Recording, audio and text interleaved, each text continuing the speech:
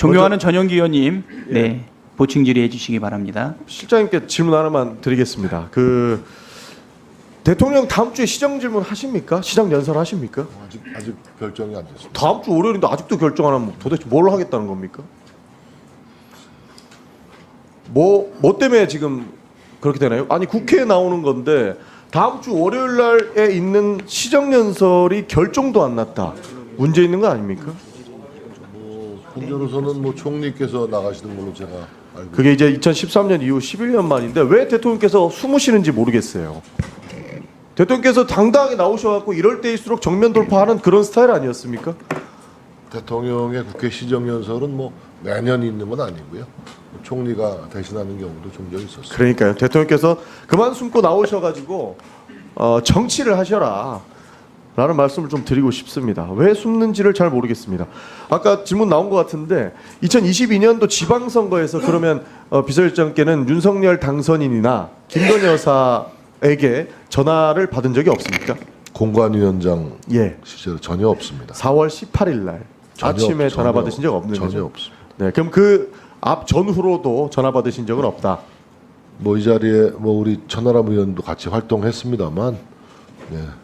우리 우리 6일 지방선거를 위한 공천관리위원회는 어, 대개가 만장일치 의결을 했고, 그리고 어, 전략 공천이나 이런 게 없었습니다. 엄정한 다 경선 지역으로 어, 했기 때문에 그러니까 17일 날 원래는 단수공천의 의결이 났다가 갑자기 김진태 후보가 18일 날 공관위에서 결정이 번복되면서 급하게 마지막 날 이제 경선할 수 있는 마지막 날에 구사 그 기사회생을 합니다. 잠깐 설명을 드릴까요? 아니요, 뭐 제가 질문 드리고 어차피 나중에 또 시간 있으시니까요. 기사회생을 하는데 그 녹취록에 여러 군데가 나오죠.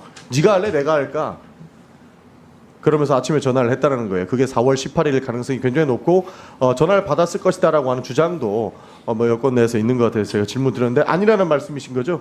그러면 공관위원장 하실 때 윤석열 당선인이나 김건희 여사의 전화를 받은 적은 없으시다.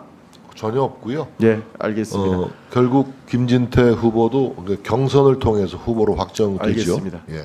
그 좀 전에 윤석열 대통령께서 나랑 집사람한테 전화하지 마라고 그 제가 좀 전에 오전 질의에 드린 거에 얘기하셨는데 그 녹취에 그때 얘기하셨다는 건가요? 그 말씀은 언제 하셨던 건가요? 그것은 이제 에, 그 대통령께서 이제 명태균 씨 이런저런 접촉이 있다가 네.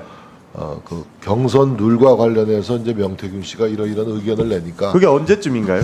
글쎄요 그게 뭐 경선 기간 중이라고 봐야 되겠죠 경선 룰이 확정되기 직전이라고 봐야 되겠죠 경선 놀이 직전에 했다. 그러면 대통령이 되고 나서도 명태균 씨와 통화한 적이 있습니까?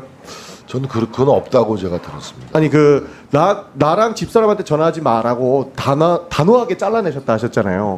그때가 그러면 당선인 시절이었습니까? 네. 아니, 대통령 시절이었습니까? 경선 경선 후보 경선 후보 경선 때 그 얘기를 하고 나서 그러면 취임식 전날 3월 9일 날 그렇죠 한참 지난 후죠 그러면 그 2월 아 2월 달이 한참 전이죠. 그, 그 한참 전에 그렇게 잘라냈는데 네. 3월 9일 날 그렇게 쩔쩔매면서 그렇게 윤석열 쩔쩔 대통령- 쩔쩔 매는 거예요? 누가 예, 알겠습니다. 그러니까 쩔쩔 매는 건 아닌 것 같아요. 대통령 경선 때에 윤석열 대통령께서는 명태균 씨를 끊어내려고 단호하게 말씀을 하셨지만 3월 9일 날 전화를 받으셔가지고 어 이렇게 3월 김영선 9일? 하려고 했는데 3월 5월 9일입니다. 5월 아, 9일. 5월 9일, 5월 5월 9일 구일. 죄송합니다. 예, 5월 9일에 그렇게 하셨다는 건가요?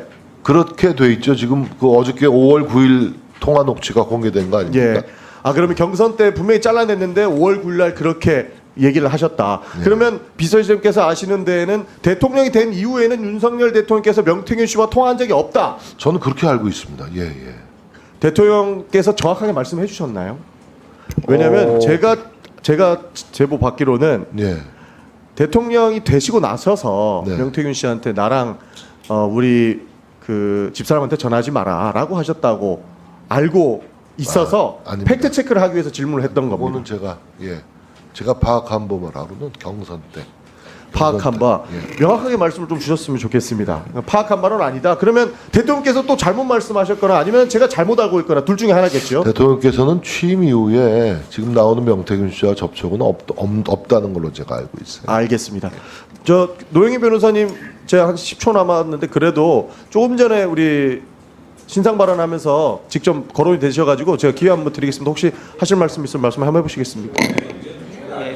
예, 증인과 참고인이 아니면 예, 발언할 수 없는데 그런가요? 예, 저기 여당 의원님들이 동의하면 예, 동의 안 하시죠? 네, 네. 죄송합니다, 전용기 의원님 시간이 다 됐네요. 아. 네, 예, 간략하게 해주십시오. 네. 그 지금 제가 국민의힘 의원님들 반대쪽의 의견을 지금 내고 있어서 지금 의원님들이 저를 이렇게 공격하시는 것 같은데 냉정하게 좀 판단을 해주십시오. 지금 저를 욕하는 국민들도 있지만 저를 응원하는 국민들이 더 많습니다. 길거리에서 힘내라고 응원하시고요. 오늘 공항에 내렸는데 어떤 분이 그 중년의 여성분인데 쫓아와서 강혜경 씨 맞죠? 힘내라 하시면서 택시비 해라고 5만 원까지 막 지어주시면서 가셨어요. 국민의 소리를 좀 들으십시오. 국민 국민으로서 말씀드립니다. 네, 예. 지금 뭐 하는 겁니까? 예, 예, 예. 누가 발언권을 안 줘요? 네.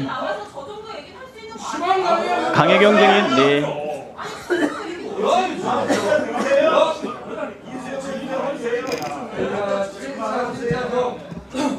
네. 의사 진행만은 그만하시고 예 제가 예 제가 잘 강, 강혜경 증인 네 그러한 자세는 예 적절하지 않습니다.